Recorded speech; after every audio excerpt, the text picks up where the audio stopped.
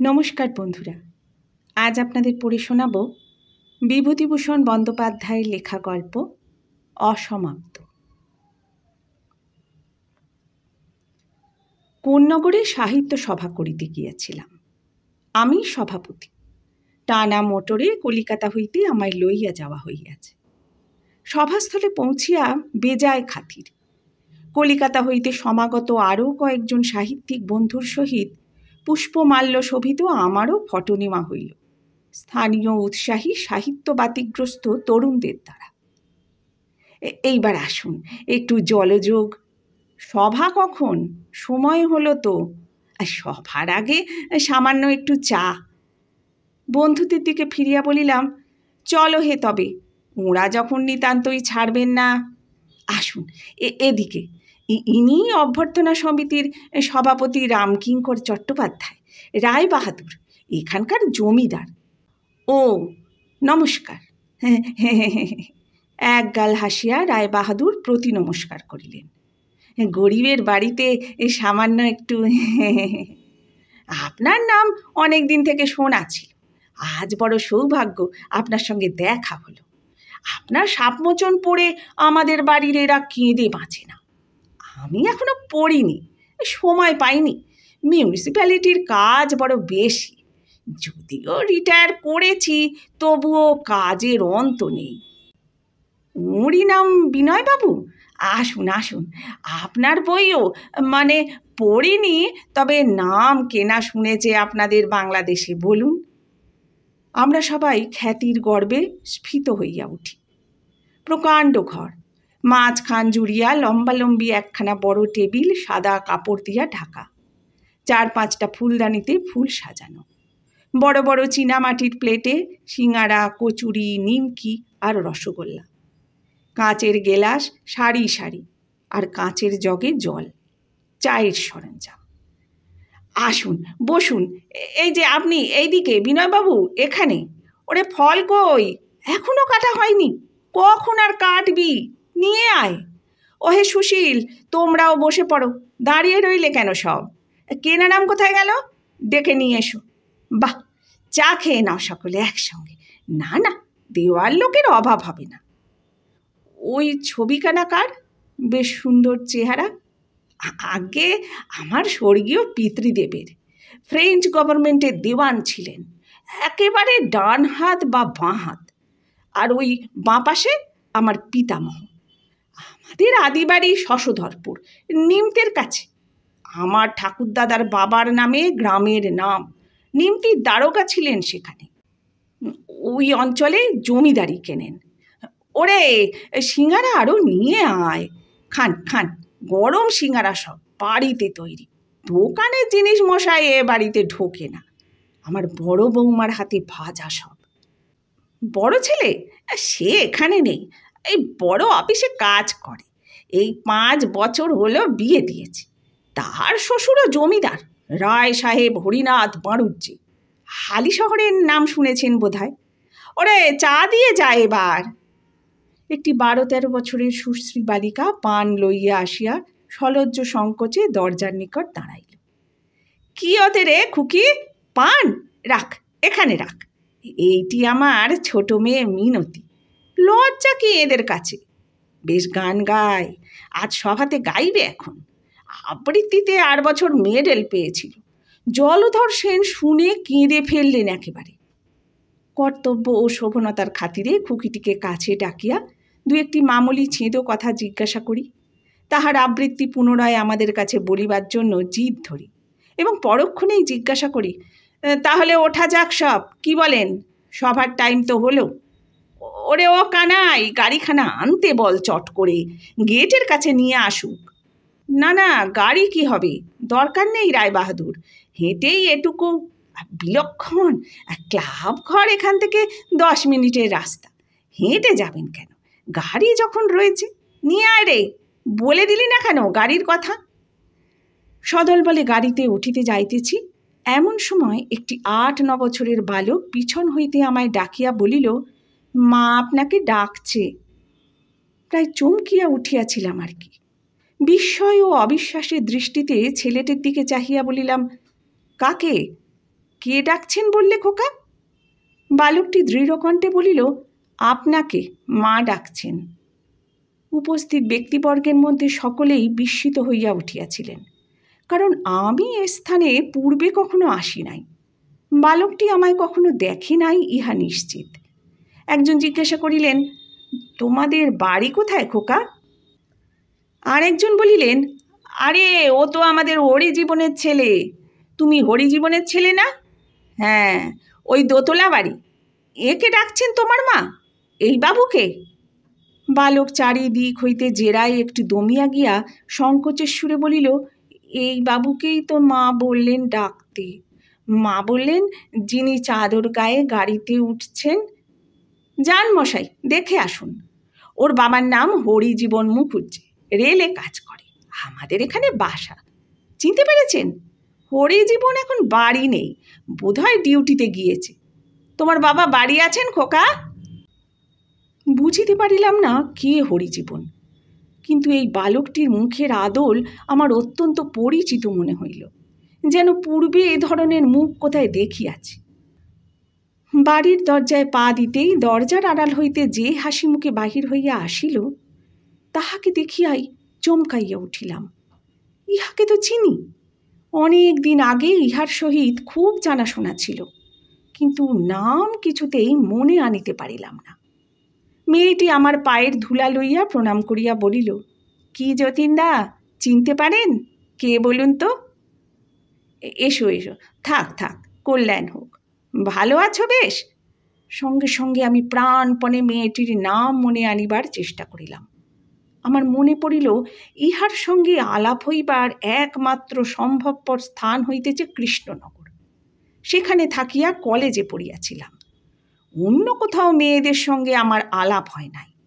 কিন্তু ষোলো সতেরো বৎসর পূর্বের সেই দিনগুলিতে ভাবিয়া দেখিলাম, অনেকগুলি মেয়ের সঙ্গে আলাপ হইয়াছিল। শুধু এই কারণে যে আমি যে বাড়িতে থাকিতাম, সেই বাড়িতে সংগীত চর্চা উপলক্ষে পাড়ার অনেক মেয়ে জড়ো হইত। তাছাড়া কবিতা আবৃত্তির প্রতিযোগিতা, ছোট ছোট মেয়েদের থিয়েটার প্রভৃতি সম্পর্কে মেয়েদের সাহায্য করিতে অনেকবার অনুরুদ্ধ হইতাম। সে উপলক্ষেও অনেক মেয়ের সংস্পর্শে আসিয়াছিলাম। সেখানেই যদি ইহার সহিত দেখাশোনা হইয়া থাকে, তবে নাম মনে আনিবার চেষ্টা বৃথা। বসুন যতীনদা। ইয়ে গিয়ে বসবো বটে, কিন্তু ঘুরে আসি। সভা রয়েছে কি না? সবার টাইম প্রায় হয়ে গেল। মেয়েটি হাসিয়া বলিল, উফ, আপনি আবার সাহিত্যিক হয়েছেন। সভায় সভাপতিত্ব করবেন, এইসব ভাবলে আমার হাসি পায়। কি বকাটেই ছিলেন? চুপ করিয়া রহিলাম। যদিও ঠিক বুঝিলাম না, আমার মধ্যে বখাটেগিরির কি দেখিয়াছিল এ। এবং আমার তো মনে হয় না আমি সত্যিকারের বখাটে যাহাকে বলে তাহা ছিলাম কোনোদিন।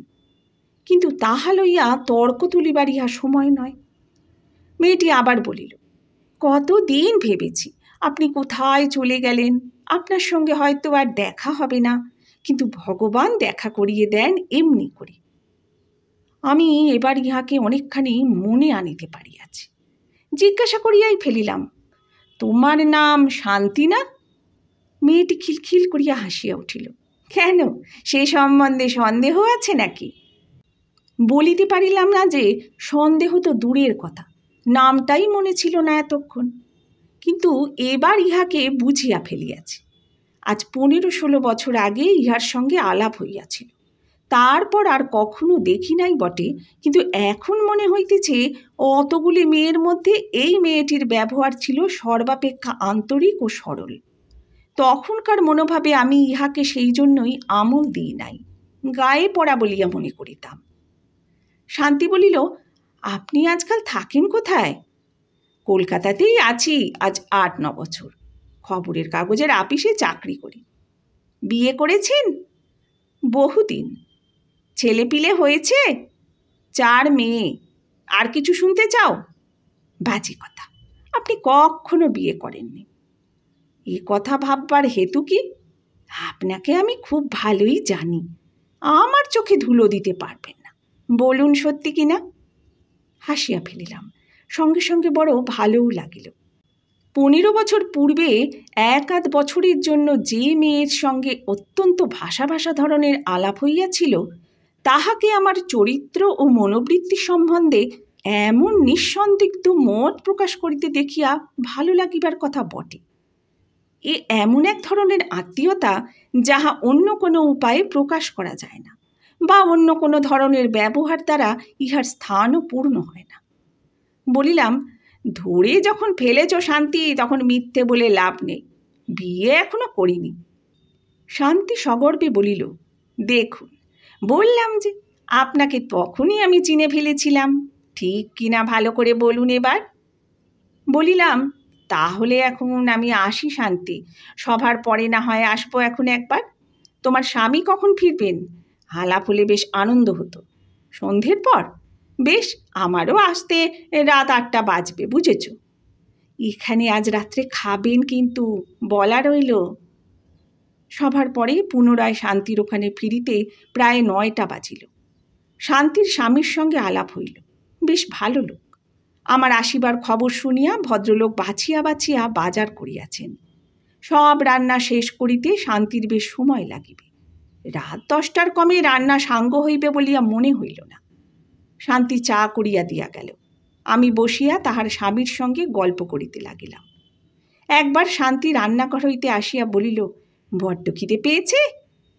ও জিনিসটি প্রাদুর্ভাব তোমাদের আতিথেয়তার কল্যাণে আদৌ হবার উপায় নেই। এসে পর্যন্ত খাওয়া চলছে। তুমি নিরুদ্বেগে বসে রাঁধতে পারো যতক্ষণ খুশি। আহারাদির পরে শান্তি বসিয়া গল্প করিতে লাগিল। শান্তির স্বামী দু একবার হাই তুলিয়া বলিলেন, আমার কাল খুব সকালের ডিউটি। যদি কিছু মনে না করেন, আমি গিয়ে শুয়ে পড়ি। বিলক্ষণ, শোবেন বই কি? আমিও তাহলে শান্তি, তুমি বরং বসে গল্প করো। আমি যাই। এর বিছানা করে রেখেছ তো? মশারিটা খাটিয়ে দিও। স্বামী উঠিয়া চলিয়া গেলে শান্তি বলিল, ঘুম পেলে শুনছি নে কিন্তু, আজ সারা রাত বসে গল্প করতে হবে কতকাল পরে দেখা। সারা রাত? বলো কি? হঠাৎ শান্তি বলিল, কেন না? আপনি আমায় কত কষ্ট দিয়েছিলেন জানেন? আমি অবাক হইয়া ওর মুখের দিকে চাহিয়া বলিলাম, কিসের কষ্ট? কিসের কষ্ট জানেন না তো? জানবেনই বা কী করে? আচ্ছা দাঁড়ান দেখাচ্ছি। বলিয়াই সে ঘরের ভিতরে ঢুকিয়া গেল এবং কিছুক্ষণ পরে একটি ছোট কাঠের বাক্স আনিয়া আমার সামনে খুলিল। একটা পত্র আমার সামনে ধরিয়া বলিল, দেখুন পড়ে। পড়িয়া দেখিয়া আশ্চর্য হইলাম। আমার মাসিমা পরলোক গমন করিয়াছেন। আজ দশ বছর কি তার বেশি? তার হাতের লেখা খুব ভালো করিয়াই চিনি। মাসিমা শান্তির মাকে চিঠিতে আমার সহিত শান্তির বিবাহের প্রস্তাব করিতেছেন এই চিঠিতে। বলিলাম, তুমি এ পত্র পেলে কোথায়? যেদিন এ পত্র এসেছিল, সেই দিনটি থেকে পত্রখানা আমার কাছে।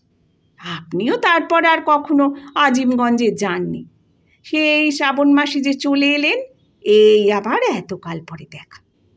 কিন্তু আমি এ ব্যাপারের বিন্দু বিসর্গও জানতাম না। এ কথা বললে তুমি কি বিশ্বাস করবে, শান্তি? শান্তি অবাক হইয়া আমার মুখের দিকে চাহিয়া বলিল জানতেন না মানে?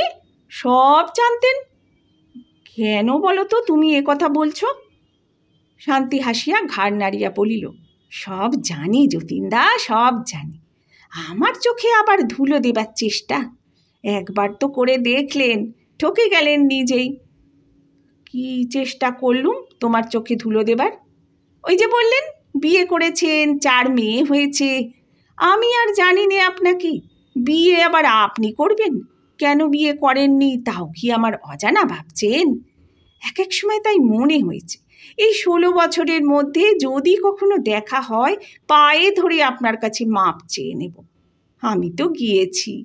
আপনি কেন যাবেন সেই সঙ্গে? সেই কথাটা বলবার সুযোগ পেলুম এতকাল পরে। বিস্ময় আমার মুখে কথা জোগাইল না। শান্তি বলে কি? এমন ভুলও মানুষের হয়। সমস্ত কথাটা বেশ করিয়া ভাবিয়া দেখিবার সময় নয় এটা। তবুও এক চমকে ইহার মনের অনেকখানি দেখিতে পাইলাম। সভা করিতে আসিয়াছি বিদেশে। আমাকে ডাকিয়া পাঠাইয়া এতখানি দরদ দেখাইবার ঠিকমতো কারণ আমি অনেক হাতড়াইয়া খুঁজিয়া পাইতেছিলাম না। অনেকখানি পরিষ্কার হইয়া গেল এবার। কিন্তু মেয়েটি কি ভুলি নিজের বুকের মধ্যে এই ষোলো বছর পুষিয়া রাখিয়াছে? আমার অত্যন্ত কৌতূহল হইল। কতকগুলি কথা জানিবার। বলিলাম, আজ যখন এখানে এলাম, তুমি কি করে আমায় চিনলে এতকাল পরে? সবার জন্য কাগজ ছাপিয়ে বিলি করেছিল। আপনার নাম দেখলাম। তাছাড়া সরজিৎ বাবুর ছেলে, আপনার পরিচয় সেদিন দিচ্ছিল। ওর কাছে আমাদের বাড়ি বসে।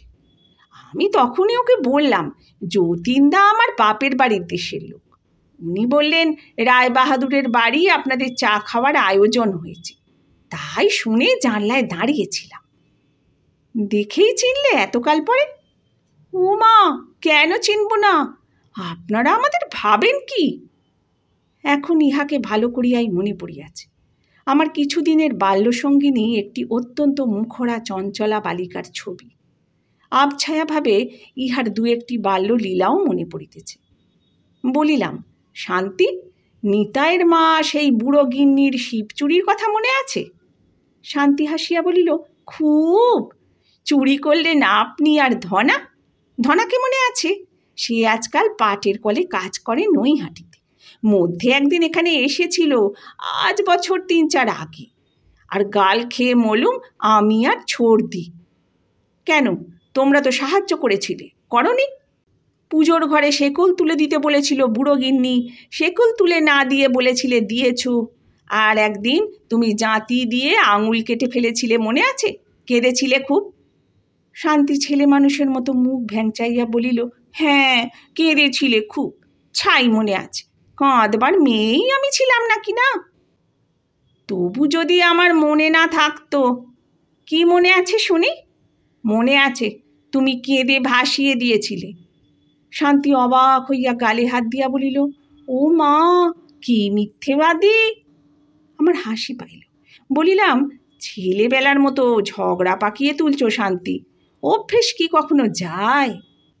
শান্তি হাসিতে হাসিতে বলিল আচ্ছা যতীনদা, শিবতলার বটগাছে ভাড়া বেঁধে দিতে তো ফি বছর পরীক্ষার আগে, খুলেছিলে কোনো দিন সত্যি অনেক কথা দেখিতেছি মনে রাখিয়াছে শান্তি, আমার নিজেরই মনে ছিল না। মেয়েরা বড় মনে রাখে। রাত অনেক। শান্তি বলিল, আর না যতীনদা, রাত হয়েছে, শুতে যান। যদিও আমার ইচ্ছে করছে আজ সারা রাতটা আপনার সঙ্গে বসে গল্প করি। কাল সকালে উঠেই যেন চলে যাবেন না, খাওয়া দাওয়া সেরে তবে।